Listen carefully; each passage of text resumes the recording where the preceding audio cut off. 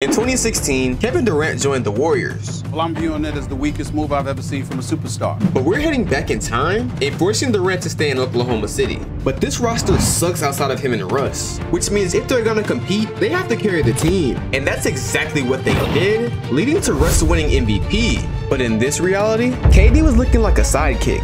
21 5 and 6 isn't terrible. But regardless of his status, the Thunder won 66 games and finished 2017 as the best team in the West. But in the second round against Minnesota, the Thunder looked like complete frauds. How are we down 3-1 to the Timberwolves? This team really isn't even that good. Game 5 started off well for the Thunder, but the game slowly turned the other way.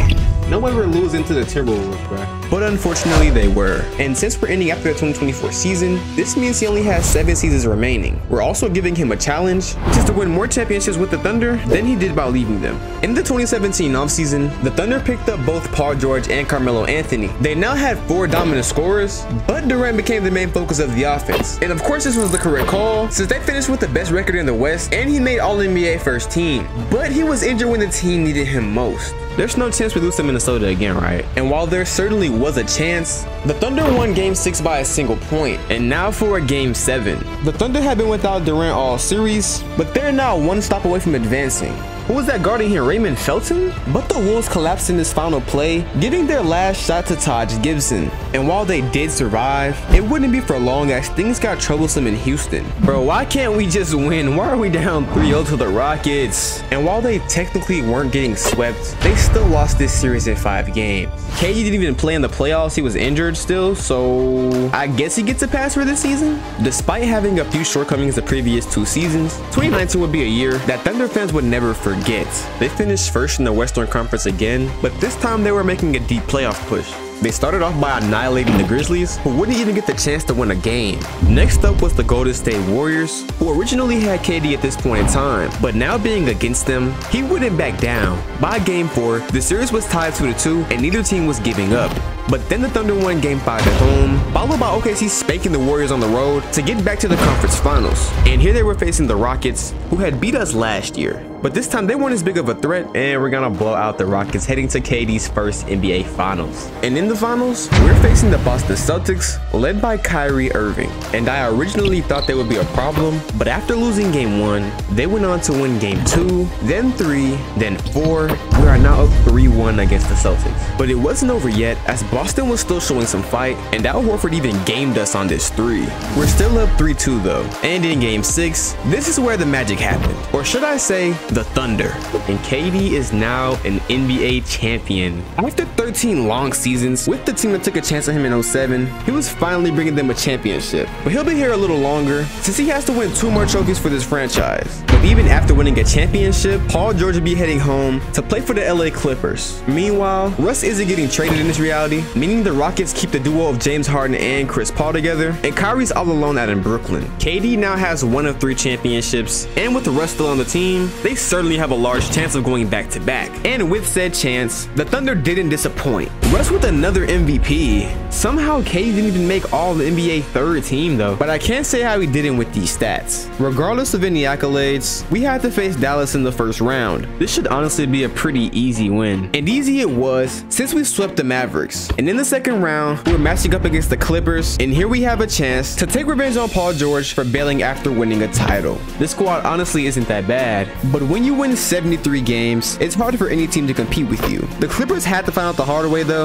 since they were being eliminated after only winning a single game. And next up we got Houston. But after game one, Chris Paul would be out with an injury, and without him, the Rockets just couldn't compete. The Thunder won this series in five games. And they were heading back to the NBA Finals, where this time they were facing the Philadelphia 76ers, led by Ben Simmons and Joel Embiid. But when one of your best players can't shoot to save his life, you stand no chance against the team with the greatest record of all time. Seeing the Thunder win the first trio of games made me pretty excited. Are we gonna sweep them in the finals? After a floater from KD and a knockdown three from Gallinari, my enthusiastic question was answered. KD now has two of the three championships he needs to complete our challenge, but here's where disaster strikes. Russ would be moving on from the team, meaning KD would be stuck with a young Shai and old Al Horford. And with Russ on a journey of his own, it was a disastrous season for KD. Luckily in the play-in against Dallas, we held our own, but there was still one more game if the Thunder were gonna make the playoff. Durant driving to the basket and knocks down the pull-up,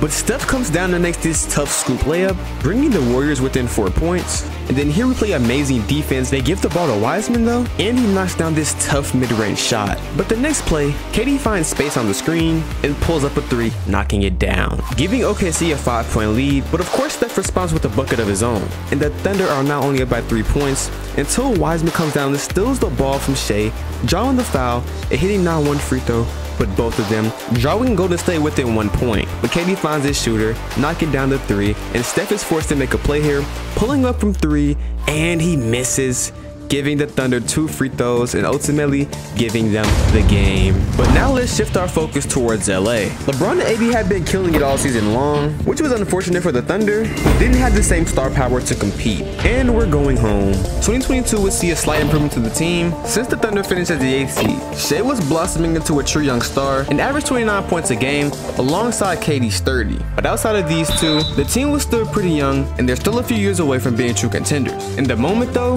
they're facing the Pelicans, but Zion was having his way. He was dunking all over OKC, and pairing that with Ingram's lethal mid-range game only made it harder to guard. The Pelicans were advancing, giving the Thunder just one last chance to make the playoffs. They were now facing Sacramento, who were led by the young star duo of De'Aaron Fox and Domantas Sabonis. And let's just say, they were too much to handle as well. KD and the Thunder were missing out on the playoffs, but just maybe this was for the best. They jumped up all the way to number two and selected a player that would speed up the rebuild. The Oklahoma City Thunder select Chet Holmgren and Chet was an amazing pickup for the team. He provided both rim protection and floor spacing that was desperately needed by the Thunder. But by the All-Star break, the team was 11th in the West, and they weren't even on pace to make the playoffs. But then something clicked. KD and Shai locked in and turned OKC around, quickly becoming a true threat out west. They finished this season as the second seed, and Chet even won Rookie of the Year. It's now playoff time, and in the first round, we saw our matchup against Sacramento, where we absolutely dominated. We did the same to Memphis as we beat them in six, and now it was time to face off against the Denver Nuggets. Nuggets. But things wouldn't go so well as Denver won the first two games of Oklahoma City. We did bounce back in game three with the win of our own, but that's about where the luck ended. The Nuggets won game four,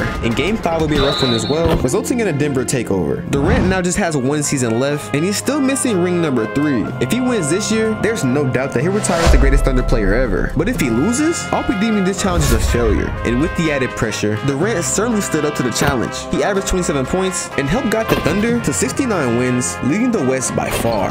In the playoffs, they started by playing rookie sensation Victor Wembanyama, who dragged the Spurs to the playoffs. But as exciting as it was to watch, it wouldn't be very competitive as OKC swept San Antonio and were now moving on to Golden State. This series would be a bit more challenging since after winning game one at home, they split with the Warriors who won game two on the road. But after losing this game, OKC refused to do so again, packing up Curry and heading back to the Western Conference Finals. This time, they were playing the Dallas Mavericks, and they would be the biggest challenge OKC had faced up until this point. The series would start fairly even, with both teams taking a win on the opponent's home court, stalling the series at two wins each. But it was game five where Dallas broke the ice. They were now up 3-2 and just one win away from beating KD and the Thunder. But Durant and Holmgren had otherwise to say, as they carried the team in game six, and then Shai stepped up in game seven, pushing OKC to the finals, where they were now just four wins away from another title. And for KD, a chance to cement himself as one of the greatest of all time. But they were playing the Milwaukee Bucks, who had both Damian Lillard and Giannis Antetokounmpo. And it's nowhere near easy beating a duo that both averaged 30 points in the regular season.